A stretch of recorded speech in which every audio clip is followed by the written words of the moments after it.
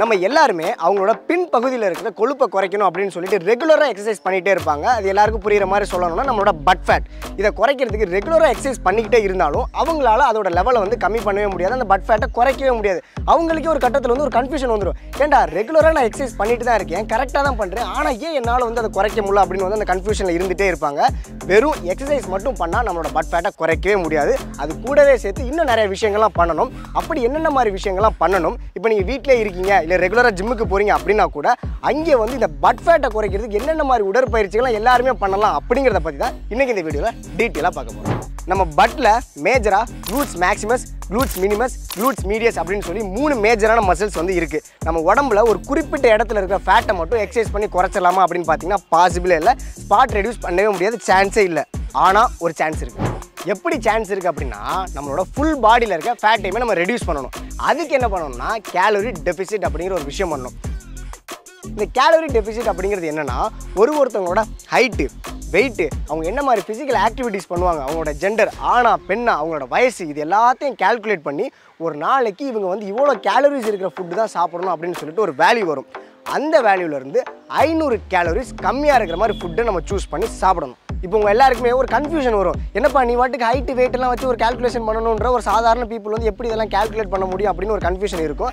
அதுக்கு என்ன பண்ணணும்னா உங்கள் ஃபோனில் கூகுளில் போயிட்டு கேலரி கால்குலேட்டர் அப்படின்னு போட்டிங்கன்னா வந்து ஒரு கால்குலேட்டர் வரும். அதில் கரண்ட்டில் நீங்கள் என்ன மாதிரி சுச்சுவேஷனில் இருக்கீங்க உங்களோட கரண்ட் வெயிட் என்ன கரண்ட் ஹைட் என்ன அப்படின்னு அது கேட்குற டீட்டெயில்ஸ்லாம் வந்து நீங்கள் வந்து கரெக்டாக ஃபில் பண்ணிங்கன்னா உங்களுக்கு வந்து ஒரு வேல்யூ கொடுக்கும். இப்போ ஒரு உதாரணத்துக்கு என்னோட டீட்டெயில்ஸே அதில் வந்து ஃபில் பண்ணுவோம். ஜெண்டர் மேல் கேட்குது மேல் வந்து கொடுத்தாச்சு. அதுக்கப்புறம் வந்து என்னோட ஏஜ் இந்த ஜனவரி இருபத்தி ஒம்போதுலேருந்து எனக்கு ஒரு இருபத்தி ரெண்டு வயசே ஸ்டார்ட் ஆச்சு. ஸோ இருபத்தி ரெண்டு அப்படிங்கிற வந்து போட்டுடலாம். அதுக்கப்புறம் ஹைட்டு சமீபத்தில் நான் செக் பண்ணி பார்க்கும்போது வந்து நூற்றி ஐம்பத்தி ஏழு சென்டிமீட்டர் இருந்தேன். ஸோ நூற்றி ஐம்பத்தி ஏழு சென்டிமீட்டருங்கிறத போட்டாச்சு. அதுக்கப்புறம் என்னோட உடல் எடை நான் அதிகமாக சாப்பிட்டேன் இல்லை கம்மியாக சாப்பிட்டேன் அப்படிங்கிற பட்சத்தில் ஐம்பத்தி எட்டுலேருந்து அறுபது கிலோகிராம் வரைக்கும் நான் வந்து கொஞ்சம் முன்ன பின்ன மெயின்டைன் பண்ணிகிட்டே இருப்பேன். ஸோ ரவுண்டாக வந்து ஒரு அறுபது கிலோகிராம்னே நம்ம போட்டுடலாம். ஃபிசிக்கல் ஆக்டிவிட்டிஸ் நான் வந்து இப்போ சமீபத்தில் ஒரு மூணு மாதமாக ஜிம்முக்கு போயிட்டு இருக்கனால நான் ரொம்ப ஹை ஒர்க் அவுட்ஸ்லாம் நான் போடுறதில்ல. ஒரு குறிப்பிட்ட மாடரேட்டாக மீடியமாக தான் நான் ஒர்க் அவுட்ஸ்லாம் பண்ணிட்டு இருக்கேன் ஸோ வந்து மீடியமாக ஃபிசிக்கல் ஆக்டிவிட்டிஸ்னு போட்டு ஒரு கால்குலேட் பண்ணால் ரெண்டாயிரத்தி இரநூத்தி எண்பத்தி எட்டு கேலரிஸ் ஒரு நாளைக்கு இருக்கிற மாதிரி நான் ஃபுட்டெலாம் சூஸ் பண்ணி சாப்பிடணும் அப்படிங்கிற ஒரு கணக்கு வந்திருக்கு. இதிலிருந்து நான் ஃபேட் லாஸ் பண்ணணும் வெயிட் லாஸ் பண்ணணும் அப்படின்னு இருந்தேன்னா ஐநூறு கேலோரிஸ் கம்மி பண்ணி நான் டெய்லி வந்து சாப்பாடு எடுத்துக்கணும். இப்போ ஒரு உதாரணத்துக்கு வந்து ரெண்டாயிரத்தி இரநூத்தி எண்பத்தெட்டு கேலோரிஸ் இருக்குது அதில் ஒரு ஐநூறு கேலோரிஸை நான் வந்து கம்மி பண்ணேன் அப்படின்னா ஆயிரத்தி எழுநூற்றி எண்பத்தி எட்டு கேலரிஸ் இருக்கிற மாதிரி ஒரு ஃபுட்டை நான் சூஸ் பண்ணி ரெகுலராக நான் சாப்பிடணும். இந்த ப்ராசஸ்மே நீங்கள் எப்படி பண்ணணும்னா எவ்ரி வீக்கெண்டில் நீங்கள் வந்து உங்களோட வெயிட்டு ஹைட் இதெல்லாம் செக் பண்ணி திருப்பி திருப்பி உங்களோட கேலரி டெபிசிட் வந்து எவ்வளோ இருக்குது அப்படிங்கிற வேல்யூ நீங்கள் தெரிஞ்சுக்கிட்டே இருக்கணும். ஏன்னா வந்து இப்போ வந்து எனக்கு ரெண்டாயிரத்தி இரநூத்தி எண்பத்தெட்டு கேலரி காட்டுது. சப்போஸ் நான் வந்து வெயிட் கம்மி பண்ணிட்டேன் அப்படிங்கிற பட்சத்தில் எனக்கு வேறு வேல்யூ காட்டும். அப்போ வார எண்டு வரைக்கும் நம்ம ரெகுலராக செக் பண்ணி செக் பண்ணி இந்த கேலரி டெபிசிட்டை ஃபாலோ பண்ணிவிட்டு நமக்குன்னு வந்து ஒரு வெயிட் லாஸ் பண்ணுறதுக்கு ஒரு டார்கெட் இருக்கும். அந்த டார்கெட் வர வரைக்கும் நம்ம கரெக்டாக இந்த மாதிரி கேலரி கம்மியாக இருக்கிற ஒன்று உணவுகளாக சூஸ் பண்ணி சாப்பிடணும். பட் இந்த கேலரி டெபிசிட் நீங்கள் பண்ண போகிறீங்க பட் நான் ரெகுலராக மெடிசன் எடுத்துகிட்டு இருக்கேன். எனக்கு நிறைய ஹெல்த் இஷ்யூஸ் இருக்குது டாக்டர்ஸ் வந்து நீங்கள் சரியாகிற வரைக்கும் இந்த மாதிரி உணவுகள்லாம் நீங்கள் ரெகுலராக சாப்பிட்டே ஆகணும் அப்படின்னு சொல்லியிருக்காங்க அப்படிங்கிற பட்சத்தில் டாக்டர்கிட்ட கேட்டு அவங்க ஓகே சொன்னதுக்கப்புறம் தான் அந்த கேலரி டெபிசிட் ப்ராசஸ்க்குள்ளே நீங்கள் வரணும். அது மட்டும் இல்லாமல் இந்த கேலரி டெபிசிட் ப்ராசஸில் இருக்கும் போல ரொம்ப ஆரோக்கியமான ஃபுட்ஸ் தான் வந்து நம்ம சூஸ் பண்ணி சாப்பிடணும். இப்போ உதாரணத்துக்கு நிறைய வெஜிடபிள்ஸு ஃப்ரூட்ஸு கிரைன்ஸு ப்ரோட்டீன்ஸு அதுக்கப்புறம் லோ ஃபேட் இருக்கிற மாதிரி ஃபுட்ஸ் இதெல்லாமே சூஸ் பண்ணி தான் நம்ம சாப்பிடணும். இப்படி சாப்பிட்டா தான் இந்த கேலரி டெபிசிட் ப்ராசஸில் நம்ம வெயிட் லாஸும் பண்ண முடியும். அதே நேரத்தில் நம்மளோட பாடியை கொஞ்சம் ஹெல்த்தாகவும் வச்சுக்க முடியும்.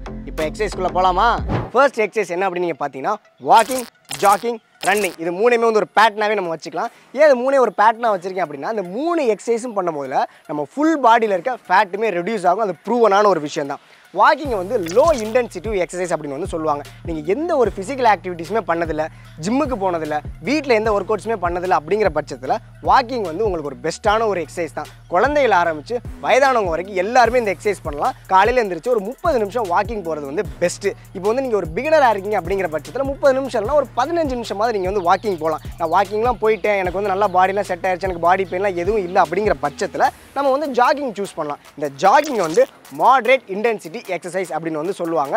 இது வந்து நீங்கள் ஒரு பிகினராக இருந்தீங்க அப்படின்னா ஒரு பதினஞ்சு நிமிஷம் ஜாகிங் போகிறதே வந்து நமக்கு வந்து ஒரு பெஸ்ட்டான ஒரு சாய்ஸாக தான் இருக்கும். ஏன்னா எடுத்தோன்னே வந்து நம்ம ஒரு முப்பது நிமிஷம் ஒரு ஒரு மணி நேரம் வந்து ஜாகிங் பண்ண ஆரம்பிச்சோன்னா நம்மளோட மசில்ஸ் பெயின் வரதுக்கு சான்சஸ் இருக்குது மசில் இன்ஜுரி ஆகிறதுக்கும் சான்சஸ் இருக்குது எனக்கு இது ரெண்டுமே செட் ஆயிடுச்சு வாக்கிங்கும் நான் வந்து ஒரு வார கணக்கில் நான் போய்கிட்டு இருக்கேன். ஜாகிங் வந்து ஒரு வார கணக்கில் போயிட்டு இருக்கேன். எனக்கு எல்லாமே செட் ஆயிடுச்சு எனக்கு இன்னும் ரிசல்ட் வந்து ரொம்ப வேகமாக வேணும் அப்படிங்கிற பட்சத்தில் நம்ம வந்து ரன்னிங்கை வந்து சூஸ் பண்ணலாம். ஏன்னா ரன்னிங் அப்படிங்கிறது வந்து ஹை இன்டென்சிட்டிவ் எக்ஸசைஸ் அப்படின்னு வந்து சொல்லுவாங்க. நம்மளோட ஃபுல் பாடி எஃபோர்ட் நம்ம போடுற மாதிரி மாதிரி இருக்கும். நம்மளோட ஃபுல் ஃபிசிக்கல் ஆக்டிவிட்டீஸும் அதுக்கு யூஸ் பண்ணுற மாதிரி இருக்கும். ரொம்ப எனர்ஜி லாஸ் ஆகும். ஸோ எல்லாராலையுமே அது பண்ண முடியாது. ரொம்ப எஃபெக்டிவாக வேணும். ஃபிசிக்கலாக நான் நல்லா ஃபிட்டாக இருக்கேன் அப்படிங்கிறவங்க மட்டும் இந்த எக்ஸசைஸை சூஸ் பண்ணலாம். பட் இந்த மூணு எக்ஸசைஸுமே இப்போ வந்து நீங்கள் சின்ன வயசுலேருந்து வந்து உங்களுக்கு கை கால் வலி இருக்குது மூட்டு வலி இருக்குது இதய சம்மந்தமான பிரச்சனைகள் இருக்குது ப்ரீத்திங் ப்ராப்ளம் இருக்குது லங் சம்மந்தமான பிரச்சனைகள் இருக்குது அப்படிங்கிற பட்சத்தில் டாக்டர்கிட்ட கேட்டு இப்படி வந்து நான் வெயிட் லாஸ் பண்ண போகிறேன் அதுக்கு வந்து நான் அந்த மாதிரி எக்ஸசைஸ்லாம் பண்ண போகிறேன் வாக்கிங் பண்ணலாமா? ஜாகிங் பண்ணலாமா? ரன்னிங் பண்ணலாமா டாக்டர் கிட்ட கன்சல்ட் பண்ணி இந்த எக்ஸசைஸ் ஸ்டார்ட் பண்ணுறது பெஸ்ட் செகண்ட் எக்ஸசைஸ் என்ன அப்படின்னு பார்த்தீங்கன்னா ஸ்டெப்ஸ் கிளைம்பிங் இது ரொம்ப வந்து ஃபிசிக்கலாக ஃபிட்டாக இருக்கிறவங்க எக்ஸ்பீரியன்ஸ்டு பர்சன்ஸ் என்ன பண்ணுவாங்கன்னா ரொம்ப ஃபாஸ்ட்டாக பண்ணுவாங்க. ஸோ பிகினருக்கு வந்து அந்த அளவுக்கு ஃபாஸ்ட்லாம் தேவையில்ல. நார்மலாக ஒரு ஸ்டெப்ஸ் உங்கள் வீட்டில் வந்து நீங்கள் எப்படி ஏறுவீங்களோ அதே மாதிரி தான் நீங்கள் பண்ண போகிறீங்க பட் இது வந்து ஒரு எக்ஸசைஸாக பண்ண போகிறோம் இப்போ நீங்கள் ஒரு பிகினராக இருக்கீங்க அப்படின்னா ஒரு நாளைக்கு டென் டைம்ஸ் ஸ்டெப்ஸில் மேலே போயிட்டு கீழே வரணும். அவ்வளோதான் இந்த எக்ஸசைஸ் பார்த்தீங்களா எவ்வளோ ஈஸியான ஒரு எக்ஸசைஸாக இருக்குன்னு. ஆனால் இது பண்ணும் போது வந்து சில பேருக்கு வந்து சில மிஸ்டேக்ஸ்லாம் பண்ணுவாங்க. என்ன பண்ணுவாங்க அப்படின்னா அவங்க டோவை யூஸ் பண்ணி மட்டும் தான் வந்து நம்ம ஸ்டெப்ஸ்லேயே ஏறுவாங்க. அது மட்டும் இல்லாமல் அவங்களோட பாடி வந்து ஃபுல்லாக வந்து பேக் சைடில் வர மாதிரி வந்து அந்த ஸ்டெப்ஸில் வந்து ஏறிட்டு இருப்பாங்க. அப்படி பண்ணக்கூடாது. நம்மளோட ஃபுல் ஃபுட்டுமே ஸ்டெப்ஸில் படுற மாதிரி தான் வந்து அந்த ஸ்டெப்ஸ் கிளைம்பிங் வந்து நம்ம பண்ணணும். அப்படி நம்ம பண்ணும் போதில் நம்மளோட க்ளூட்ஸ் அதாவது பேக் மசில்ஸையும் நம்மளோட ஹாம்ஸ்ட்ரிங்ஸையும் நல்லா டைட் பண்ணி தான் வந்து இந்த எக்ஸசைஸே வந்து நம்ம பண்ணணும்.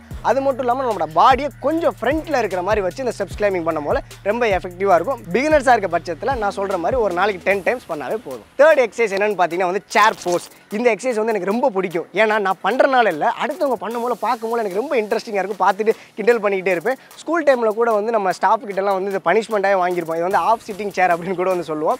இந்த எக்ஸசைஸ் எப்படி பண்ணணும் அப்படின்னு பார்த்தீங்கன்னா ஒரு ஃப்ரீ ஸ்குவாட் எப்படி பண்ணுவீங்களோ அந்த பொசிஷனுக்கு போயிட்டு ஹோல்டு பண்ணணும். தேர்ட்டி செகண்ட்ஸ்லேருந்து ஒரு ஒன் மினிட் வரைக்கும் ஹோல்ட் பண்ணணும். நீங்கள் பிகினராக இருக்கீங்க அப்படிங்கிற பட்சத்தில் மூணு செட் வந்து போடலாம். ஒரு செட்டு வந்து முப்பது செகண்ட்லேருந்து ஒரு நிமிஷம் வரைக்கும் நம்ம கணக்கு வச்சு பண்ணிக்கலாம். ஃபோர்த் எக்ஸசைஸ் என்னென்னு பார்த்தீங்கன்னா வந்து ஃப்ரீ ஸ்குவாட் இந்த எக்ஸசைஸ் பண்ணுறனால நம்மளோட லோவர் பாடி ஃபுல்லாகவே வந்து நல்லா ஸ்ட்ராங் ஆகும்.